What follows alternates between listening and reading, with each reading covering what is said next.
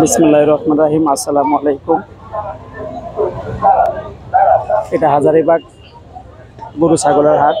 হাজারিবাগ থেকে শুরু করে জিগাতলা পর্যন্ত বিশাল বড় একটা গরু ছাগলের হাট এখানে। গরু আছে, কিন্তু দেতা নাই, কেনার মতো লোক নাই। এক একটা গরুর সঙ্গে একজন, দুইজন, তিনজন, চারজন পর্যন্ত আসছে।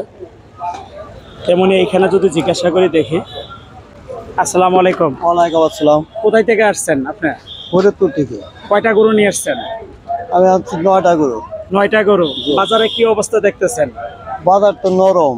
একবারে নরম? একবারে নরম। এটা কি হাট এটা? এটা হাজারে বাঘ হাট। হাজারি ভাগ হাট। নয়টার মধ্যে বিক্রি করছেন গরু? দুটো বিক্রি করছি।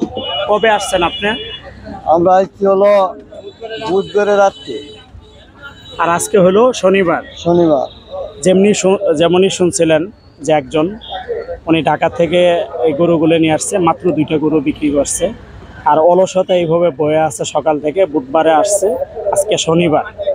আপনারা যারা আবারও আমি বলছি যারা ঢাকা শহরে আছেন গরু কিনবেন ভাবতেছেন সরাসরি হাজারিবাগ চলে আসেন। কারণ এইখানে গরু একেবারেই যেটা বলব না যে পানির দামে কিন্তু গরু গত বছরের তুলনা অনুযায়ী একেবারে দাম। কম অনেক কম। যে গরুগুলো বিক্রি হওয়ার কথা ছিল এক লাখ সত্তর থেকে আশি এই গরুগুলো এখানে বিক্রি হচ্ছে এক লাখ তিরিশ থেকে চল্লিশ হাজার টাকা। এমন অবস্থা। আমি দেখি আরেকজনকে জিজ্ঞাসা করে দেখি। আপনি নিয়ে আসছেন গরু? জি। গরু নিয়ে আসছেন আপনি? জি। আপনি কয়টা নিয়ে আসছেন? আমি নয়টা নিয়ে আসছি। কয়টা বিক্রি করছেন? দুইটা। মাত্র দুইটা। কি অবস্থা দেখতেছেন? এখন বাজারে কেরতাই নাই। কেরতা যা আছে দুইশো টাকার মাল দাম করে একশো বিশ টাকা। মানে এক লাখ বিশ হাজার। মানে আশি হাজার টাকায় না আশি হাজার টাকায় নাই। বাজার একবার মন্দা। দেখাও কোনো কাস্টমার নেই একেবারে। পুরোটা দেখেন আপনারা। সম্পূর্ণ পুরোটাই খালি বললে চলে। শুধু গরু নিয়ে এরা বয়ে আছে। আসার পরে একটা এখানে তাদের নিজস্ব খরচ আছে গাড়ি ভাড়া আছে। তারা চাচ্ছে যে কোনো রকম ভাবে গরু চালান ওইটা এক দু হাজার টাকা লাভ হলে তারা গরু ছাড়িয়ে দিবে। কিন্তু তাদের চালানটাও উঠাতে পারতেছে না। এমন অবস্থা। তারা একটা তারা একটা দু দুচিন্তার ভিতরে। আপনার কোথায় থেকে আসছেন? আমি মেহেরপুর থেকে আসছি। মেহেরপুর থেকে। কয়টা গরু নিয়ে আসছেন? কুড়িটা।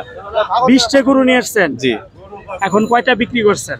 বিক্রি দুইটা হয়েছে। মাত্র দুইটা গরু বিক্রি হয়েছে আর আঠারোটাই আছে। আছে। এখন এই বাজারের পরিস্থিতি দেখে আপনার কি মনে হয়? বাজারের পরিস্থিতিতে তাতে দশ হাজার বারো হাজার করে লস হয়েছে লস যাচ্ছে। খুবই একটা দুঃখজনক যেমনি ভাবে শুনছিলেন। তা আমিও আপনাদের আবারকে আবার অনুরোধ করব যারা হলো যে এখনও কিনেন নাই তারা এই হাজারিবাগে আসেন। এখানে একেবারে মানে বললে আর কি বলব যে অন্য অন্য বছরের তুলনা অনুযায়ী একেবারেই কম। একেবারে কম। যদি আশেপাশে একটু ঘোরায় দেখাই দেখেন, পুরোটা দেখাও তো। শুধু গরু নিয়ে যারা গরুটা বিক্রি করতে আসছে, শুধু তারাই এখানে আছে। কোনো কাস্টমার নাই, দেখা যায় না। আপনি দেখেন ক্যামেরা যত দূর পর্যন্ত, কোনো একটা লোক এরকম ধরনের নাই। আসছে দুই একজন, এমনি হয়তো ঘুরতে বাই, কিন্তু কেনার মতো না। ঠিক আছে।